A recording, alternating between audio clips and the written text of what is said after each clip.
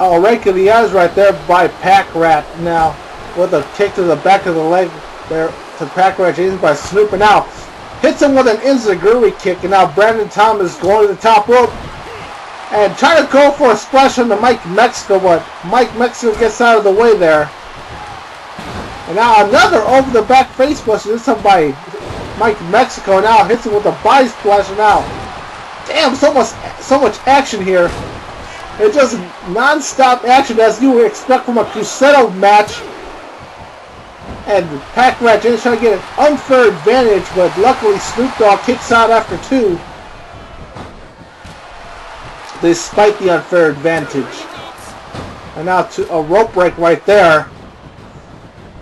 As you expect a lot of high-paced action in these Crucero matches. I mean, if we can, let's look at, at the tale of the tape here. Snoop Dogg, about 6'2", 165 pounds. Then you got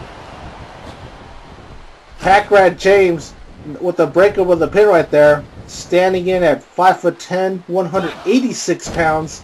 You know, breakup there by Snoop. Then you got Brandon Thomas, 5'11", 190 pounds, and then Mike Mexico, 6'1", 207. And now roll up. Try go for the pin and and Brandon Thomas able to to interrupt that pinfall attempt. And now chop right there on the Snoop. And now Damn! Hits him with that tornado DDT. And now Brandon Thomas with a bulldog on a Mike Mexico. And now Snoop with a go behind. And now hits him with a back elbow and a quick jab right there, sending Pack Rat to the ropes. And now go with a small package, the cover. And Pack Rat James kicks out after two.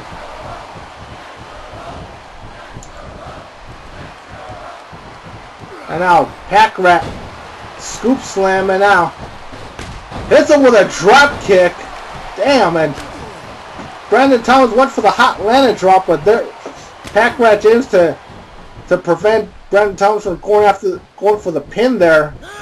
And now Brandon Thomas throwing Pack Rat in the corner, just sit, uh, delivering a lot of chops right there. Damn. And now Snoop with a bulldog. And this high-paced action. I mean, and now, what else are we going to see from these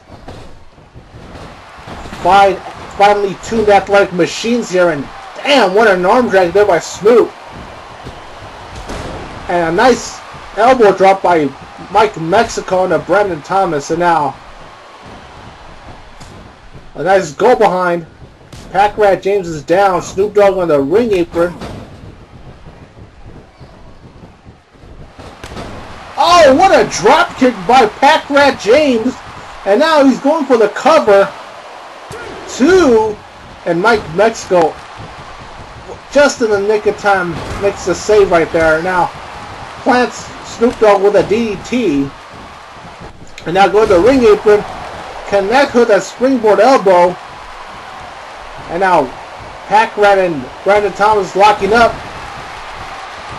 And now Rat with that DDT right there. And Snoop with a, with a bulldog and now the cover. Two. And almost three right there as Snoop Dogg interrupts the pinfall. I mean, so much action by all four of these tremendous athletes as you would expect in a Crucero title match. And now, Pack Rat James, damn.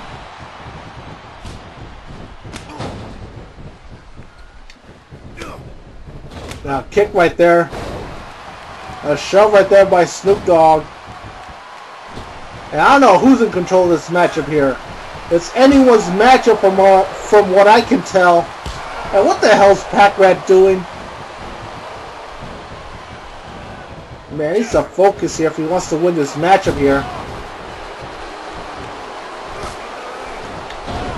And now Pack Rat working on the knee of Mike Mexico.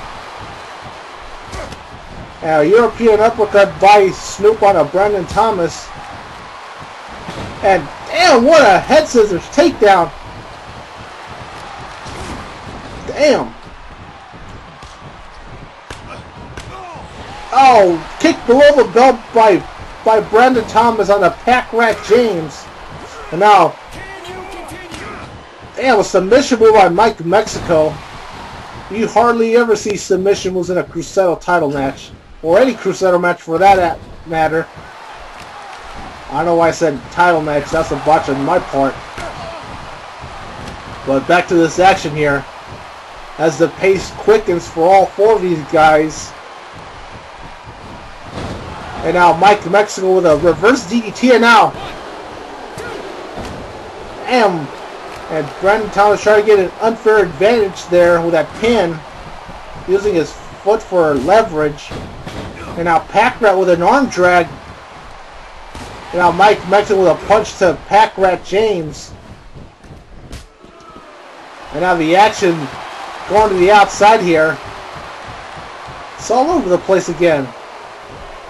And now Pack Rat James sending Pack Mike Mexico to the ring apron and knocks him down and now with it over the over the back facebuster by Pack Rat James now going for the cover and that's it. Pack Rat James is your winner and now is gonna compete for the XGWL Crucero title at the next Worldwide which will be the next episode so, Dragon Boy better be ready for Pack Rat James.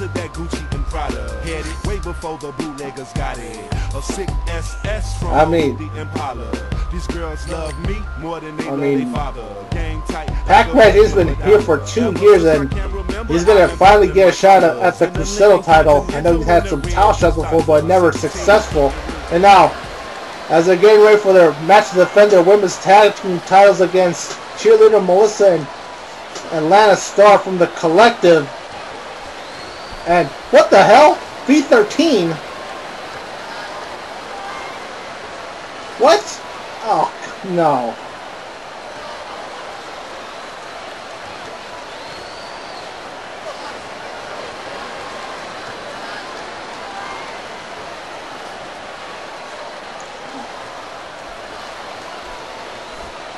What?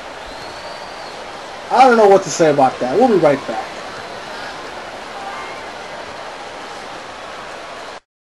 Brondo the Thirst Mutilator. It's like shaving your chest with a lawnmower. That sounds dangerous, but it's not more dangerous than Brondo. Because drinking Brondo is like riding a pony. Which probably sounds not dangerous, except that the pony is 300 feet tall and covered in chainsaws. And to get on the pony, you have to take an elevator with 16 live cougars. Which is an actual sport in Latin America.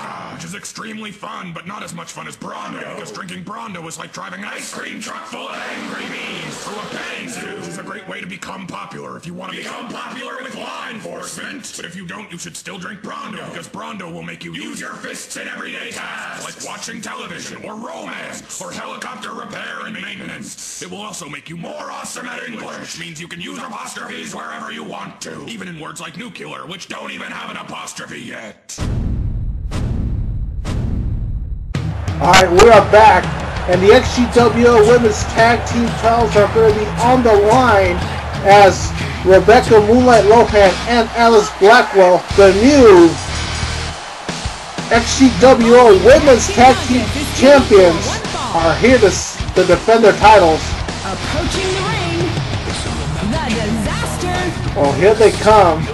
Rebecca Moonlight Lohan and Alice Blackwell. I mean, they've done a pretty good job here since, since entering XGWL. Both of them I mean, that worked very well as a tag team. I mean, it wasn't easy de defeating Obsidian and Tender Lewis, that's for sure, but they did it. It wasn't easy though, but congratulations to them once again.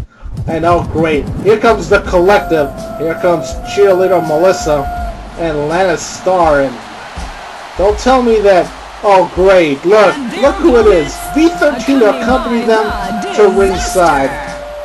I don't like the look of this. something smells fishy. And the superstar. And I think that smell's coming from V13. and I don't get this whole collective thing trying to take over women's CAW. I mean, they've already done done that with SCA and ACW. I just hope it doesn't become a serious problem next GWL. I don't know what else to say about that. Really, to be honest, I, I really don't like this V13, but in the latest news wire, I know that XtremeTony did sign V13 to the X